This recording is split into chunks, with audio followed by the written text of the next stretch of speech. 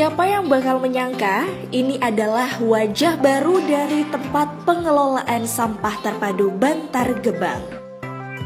Ruang terbuka hijau ini mengelilingi tempat pengelolaan sampah yang menjadikan Bantar Gebang lebih asri dan sejuk. Tak ada lagi sampah berceceran di sepanjang jalan menuju tempat pengelolaan sampah.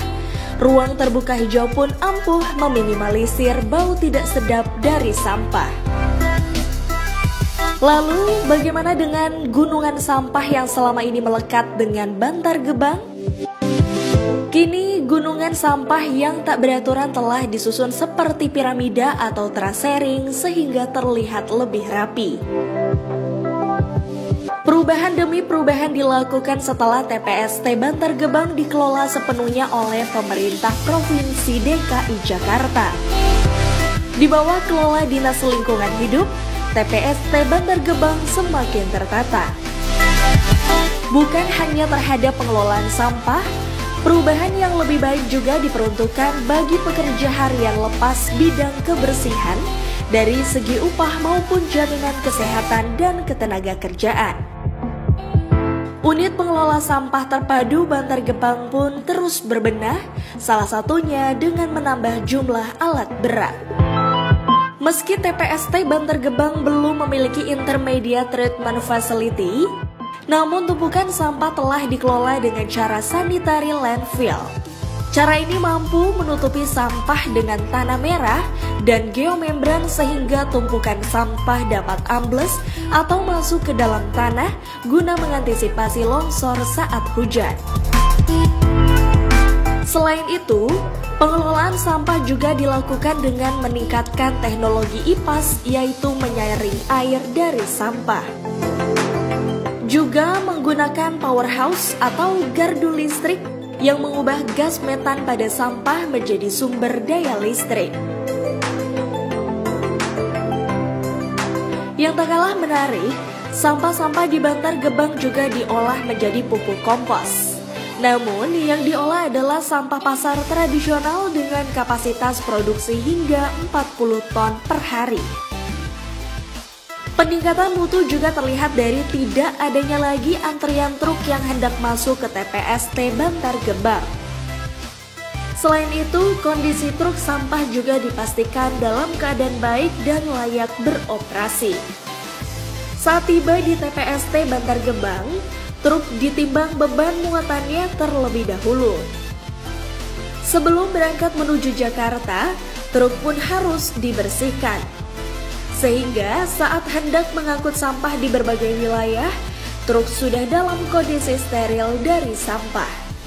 Pencucian truk dan alat berat dilakukan untuk mengurangi bau dan memperpanjang masa pakai.